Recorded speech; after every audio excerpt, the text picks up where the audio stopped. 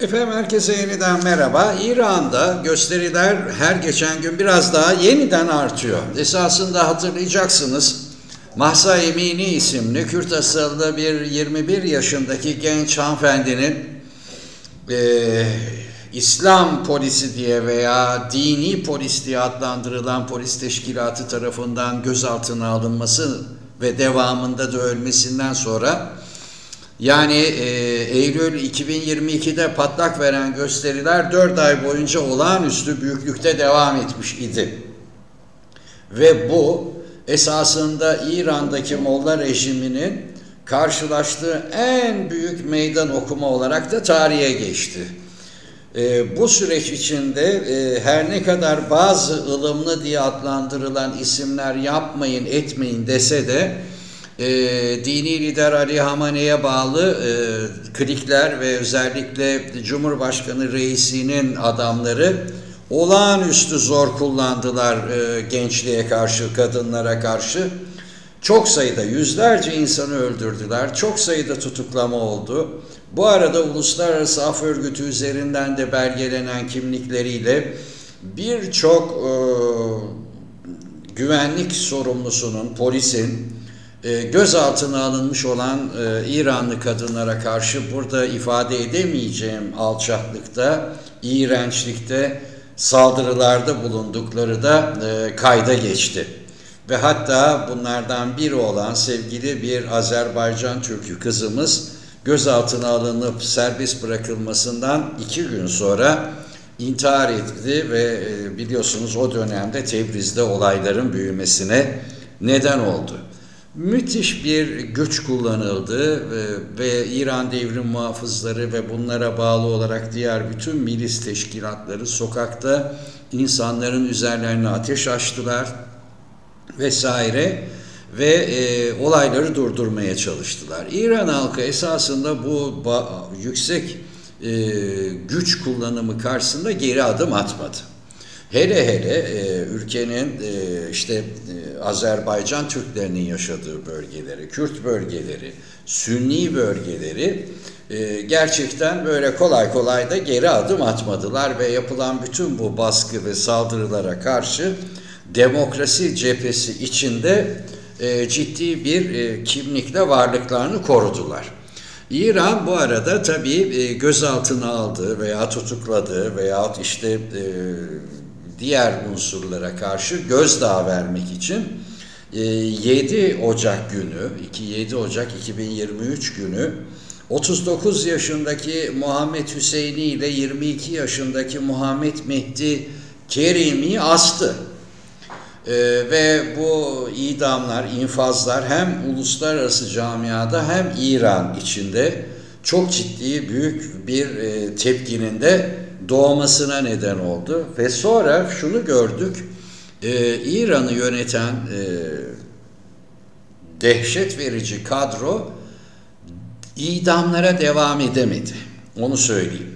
Yani İran halkının göstermiş olduğu büyük direniş ve sokaktan geriye adım atmaması artı zaten tel tel dökülen dış ilişkileri iyice e, yaptırımlara uğrayacak bir devlet haline gelmesinden sonra bu iki biri 39 öbürü 22 yaşındaki iki İranlı e, gencin sözde mahkemelerde güya işte güvenlik güçlerini öldürmüşlermiş gibi gösterilerek idam edilmesinden sonra bir anda idamlar durdu. Hatta Ali Hamani geçtiğimiz günlerde e, binlerce e, tutukluyu hedef alan bir genel af uygulaması da gerçekleştirdi. Niçin? Çünkü bütün kamuoyu yoklamaları da şunu gösteriyor ki İran'da artık rejim sürdürülemez bir hale gelmiş vaziyette. Yani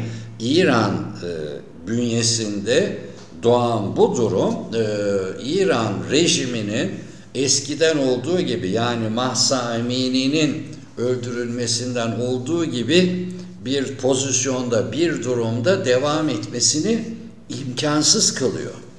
Ve e, yapılan bütün kamuoyu araştırmalarında İran halkının yüzde seksene varan bir kesiminin, yüzde seksene varan bir kesiminin artık ciddi bir rejim değişikliği ve kendilerine 1979 Şubat ayında bir Air France uçağına bindirilerek oraya e, dönemin Fransa Cumhurbaşkanı Valéry Giscard d'Estaing tarafından gönderilen ve dönemin Amerikan Başkanı Jimmy Carter, e, Alman Helmut Kohl tarafından da ve İngiliz Başbakanı tarafından da dönmesi desteklenen Ayetullah Humeyni'nin giydirmiş olduğu o deli gömleğinden kurtulmaya çalışıyorlar. E, sloganları kadın, yaşam ve özgürlük. Slogan bu. Hareket de zaten kadın, yaşam ve özgürlük hareketi olarak değerlendiriliyor. Esasında İran'ın içinden gelen bilgiler İran kadınının artık e, başörtüsüyle bağlantılı o uygulamayı tamamen reddettiği ve e, e, İran rejim polislerinin de sokakta başörtüsüz gezen kadınlara, genç kızlara artık daha fazla bir müdahalede bulunamadığı yönünde. Hatta bu konuda e, sendikalarla bir toplantı yapan e, Ayetullah e, Hamane'in adamlarının sendika liderlerinden e, iş yerlerinde kadınların hicabının e, uygulanması gerektiğini söylemelerine karşılık e, sendikacıların o bizim işimiz değil kardeşim. E, orada insanlar istedikleri kıyafetle e, başörtülü veya başörtüsüz çalışabilirler. Bunu bizler istemeyin dedikleri de gelen bilgiler arasında. Bunların hepsi son derece önemli gelişmeler. Fakat e, İran'da bir süredir hafiflemiş veya durmuş gözüken e, bu gösterilerin e, son iki günde yeniden alevlenmesi, Tebriz'de, Sanandaj'da, bütün bölgelerde yeniden alevlenmesinin nedeni işte o idam edilen iki şahıs Muhammed Hüseyini ile Muhammed Mehdi Kerimi'nin 40. günlerinin dolması. Ee, İranlılar, İran e,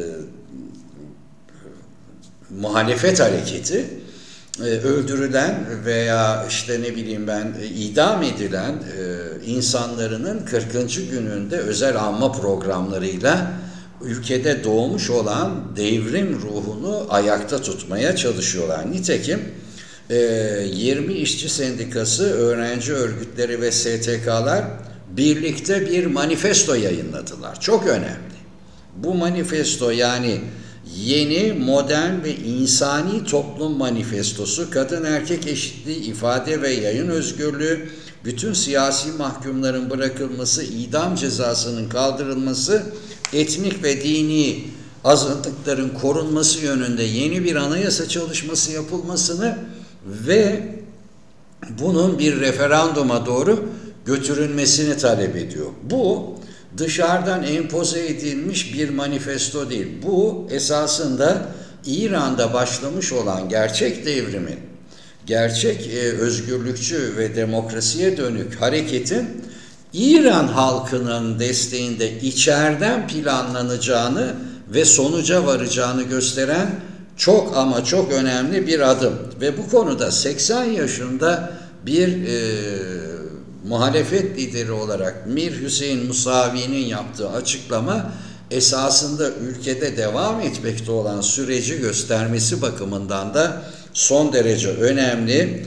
Kendisi 2011 yılından bu yana yani 12 yıldır e, şeyde evinde göz, ev hapsinde tutulan bir şahıs e, ve kendisi e, yaptığı açıklamada Mir Hüseyin Musavi kalıcı bir değişim sürecinin başlatılması gerektiğini net olarak duyurdu. Yeni anayasa ve demokratik sisteme geçiş sürecinin de bu gösterilerle beraber başlamış olduğunu ifade etti. Aynı e, açıklamaya destek olan kendisini çok yakından da takip ettim ve ısrarla da belirttim. İran Sünni lideri ilahiyatçı Molavi Abdülhamit protesto, protestocuların taleplerini kar, karşılayan anayasa değişikliği referanduma hazırlanmalıdır diye çok önemli bir çıkış yaptı. O Sünni toplumun lideri ve önde gelen muhalif lider insan hakları ihlallerine karşı çıkan bir karakter. o da e, özellikle gözaltına alınan İranlı genç kadınlara karşı yapılan o vahşi uygulamaları adını ve sanını vererek e, protesto etmiş çok değerli bir insan. Aynı e, gelişmeler çerçevesinde İran Kürdistan bölgesindeki din adamları da Mir Hüseyin Musavi'ye destek olan bir açıklama yaptılar. Ve bu arada e, bu arada İran eski Cumhurbaşkanı 1979-2005 yılları arasında reformcu bir kimlikle Cumhurbaşkanlığı yapmıştı. Gençler hatırlamayabilir. 1900 pardon 99 2005 79 nereden çıktı? Muhammed Hatemi e, o da 79 yaşında dedi ki mevcut sistemde bir reform ışığı görünmüyor. Geçmişin hatalarıyla ilgili öz eleştiri ve düzeltme çabası da yok. Şiddete başvurmayan sivil hareket değişimi sağlayacaktır. İran artık kökten değişime hazır olmalıdır. Kadın, yaşam, özgürlük hareketi önemlidir ve güçlenmelidir dedi. Bu öyle sıradan bir adam değil. Bir dönem İran'ı dünyada temsil etmiş bir cumhurbaşkanı e, Hatemi, Muhammed Hatemi ve o da buna böyle bir e, güç olarak değerlendirdi. Şimdi anladığım kadarıyla iki farklı unsur birlikte değil ayrı ayrı çalışıyorlar. Bu içeride esas benim gözüm İran'ın içinde. Çünkü Amerika'da mesela Georgetown Üniversitesi'nde bir toplantı yapıldı bundan 10 gün kadar önce. Onu işte Rıza Pehlevi katıldı, ee, işte Şah'ın oğlu, işte e, bir takım e, yurt dışında yaşayan ama hepsi de değerli e, akademisyen ve sanatçıların katıldığı toplantılar yapılıyor. Bunlar ayrı bir öykü. Bunlar e, işin e, dışarıya yansıyan yüzü. Fakat esas olarak anladığımız kadarıyla çok geniş bir konsensus, çok geniş bir anlaşma içinde İran'ın içinde artık bir siyasi e, manifesto ve bir siyasi güç kendini gösteriyor ki bu e, İran rejiminin tankla topla durdurabileceği bir gelişme değil kardeşim. O kadar da net e, söylüyorum. Bu yıl ilk defa e, 59. Münih e, Güvenlik Konseyi toplantısında Almanya'daki İran Dışişleri Bakanı yoktu. Onun yerine üç tane aktivist katıldı. E, üç tane yurt dışında yaşayan e, reformcu isimler katıldı. E, ve o insanlar da gerçekten İran'ı bir şekilde temsil etmeye çalıştılar. Bunlardan biri aktrist, sanatçı ve Uluslararası Af Örgütü'nün de temsilcisi Nazenin Bonaydi e, gazeteci aktivist Mesih e, Ali Necat ve e, tabii ki Rıza Pehlevi. E, İran anladığımız kadarıyla hep söylediğim gibi adım adım e, bu deli gömleğinden kurtulmaya gidiyor. Yarın bir gün inşallah e, daha demokratik, daha e, dünyaya entegre olmuş bir e, doğu komşumuzla bir arada yaşama şansı yakalayacağız gibi. Takip ediyoruz. Hoşçakalın.